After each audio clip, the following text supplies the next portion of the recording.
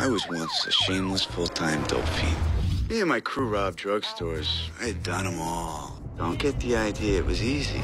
It's hard being a dope fiend. And it's even harder running a crew. I know what you guys are thinking. What's old Bob got me into this time? This here's $8,000 of the best pharmaceutical dope money can buy.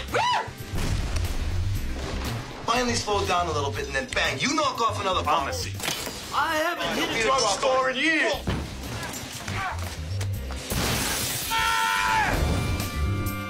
You know how these things go. It's like a crap game. When you're hot, you shoot the works. When you're cold, you lay off. Right now, baby, I'm so hot, I'm burning up all over.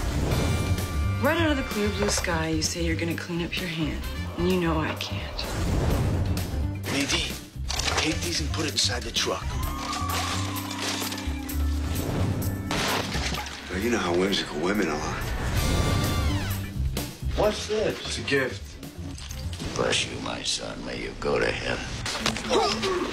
Watch your dope, man. Where's the dope? This life, you never know what's gonna happen next.